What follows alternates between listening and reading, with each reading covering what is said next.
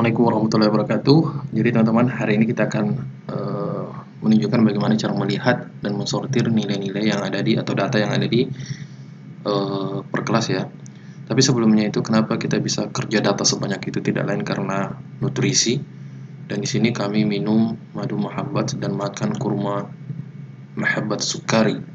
Yang ini bisa didapatkan uh, melalui kami sendiri atau Ustadz Fadil, Ustadz Ahkam, Ustadz Isyafuddin, Ustadz Hijaz, dan Ustadz Ridwan. Jadi bagi yang dekat-dekat sama beliau dan butuh nutrisi yang ideal, silahkan hubungi kami. Madu original, madu habatus soda, dan kurma sukari. Insya Allah bikin semangat bekerja. Baik, kita masuk atau langsung saja. Jadi semua data yang masuk teman-teman sekalian itu tersimpan di Google Drive. Uh, misalnya TK ya.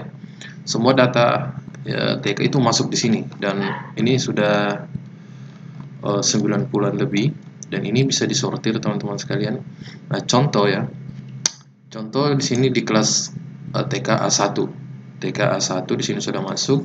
Jadi semua uh, data yang masuk itu juga tercopy di sini di folder ini dan teman-teman di kelas bisa edit atau bisa lihat Nah, bisa dilihat di sini ada filternya ya, ada saringannya. Tapi uh, kita fokus ke tab A1 karena ini kelasnya ya. Ini kelas A1. Nah, di sini bisa dilihat teman-teman.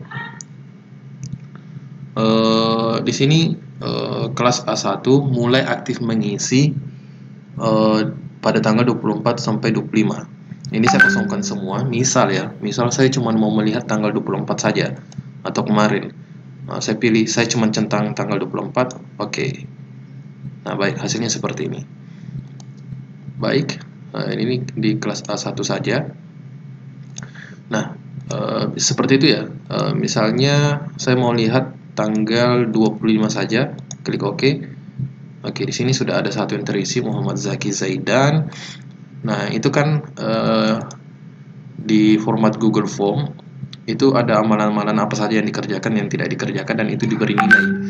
Nah, di sini yang dia kerjakan cuma ada tiga item dari 12 item dan itu diberi nilai 25. Nilai ini teman-teman sekalian didapatkan dari berapa amalan dia dikerjakan dibagi total amalan dikali 100 maka didapatkan angka 25. Nah, uh, seperti itu. Tapi uh, yang perlu dihindari dan diingatkan uh, bagi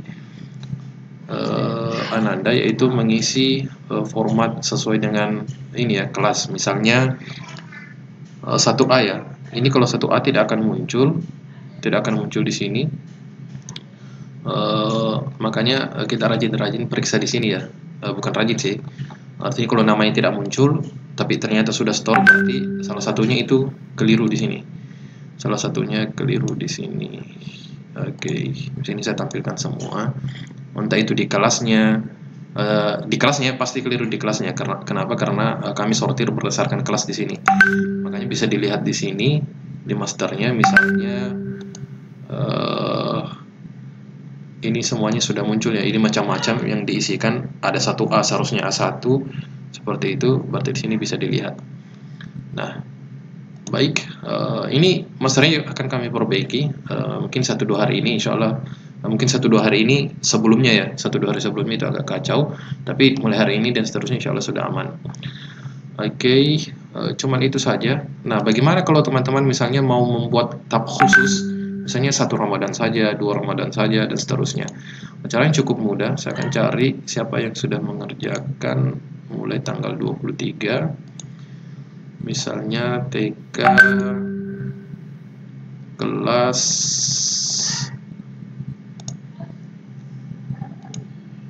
misalnya TK kelas berapa ya yang sudah lengkap Oops, maaf. Oke. Okay. oke. Okay. nah ini sudah lengkap ya dari hari pertama 1 Ramadan 23, 24, 25 misalnya saya mau sortir tanggal 23 saja. Gampang ini maju ke sini saja. Sentuh uh, sheetnya kita duplikasikan.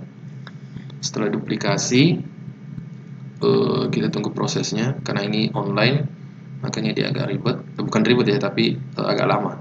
Nah ini kita double klik oke kita tunggu. Mungkin karena jaringan internet saya agak lelet. Oke. Nah ini saya ganti namanya menjadi misalnya 23 ya. 23 Ramadan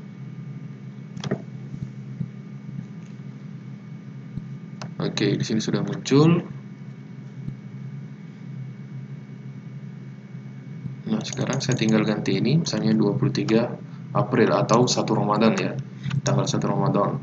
Nah, di sini teman-teman tinggal eh, centang tanggal 1 Ramadan itu kapan. Nah, misalnya tanggal 23 ya. Nah, ini kosongkan semua, lalu pilih tanggal 23, lalu oke. Okay. Baik, 1 Ramadan yang nyetor cuma satu orang. Nah, baik, ini kembali saya duplikasikan atau duplikat atau copy paste. Nah, di sini akan nanti ada muncul tab baru. Tinggal kita ubah menjadi misalnya tanggal 2, ya kan. Oke, ini sudah muncul.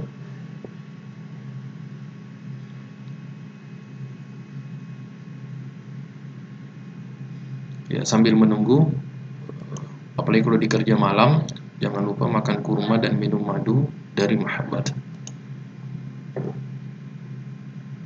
Oke, ini kopi satu sudah muncul. Saya jadikan tanggal 2 Ramadan. Oke, sekarang timestampnya kita tinggal ubah ke tanggal 2 Ramadan. Misalnya tanggal 24 ya.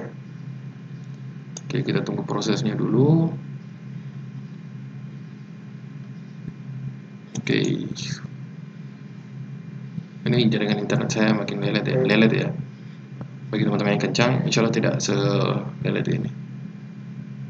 Nah misalnya tanggal 24 oke okay. oke. Okay, tanggal 24 ada 9 orang ya kan? 1 2 3 4 5 6 7 7 orang ya ada 7 orang yang store. Nilainya bisa dilihat di belakang sini. Cuman untuk hari pertama tanggal 23 24 uh, anggap tanggal 25 juga itu kami masih perbaiki. Insya Allah uh, satu dua hari ke depan sudah normal. Dan mulai uh, mungkin hari ini ya uh, yang akses setelah video ini insya Allah itu nilainya sudah normal skor nilainya sudah normal. Jadi teman-teman tiap harinya tinggal melihat cek oh hari ini yang kerjakan ini dan uh, nilainya sekian. Baik mungkin saja untuk teman-teman TK dan SD jika ada pertanyaan sisi-sisi juga silakan kita diskusikan di grup Uh, jangan lupa konsumsi madu dan kurma mahabbat. Assalamualaikum warahmatullahi wabarakatuh.